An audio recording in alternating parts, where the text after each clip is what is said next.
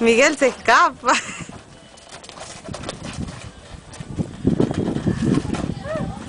El de rojo es el Johan. El que gana es Johan. Así pelea, pero un Johan. Malo.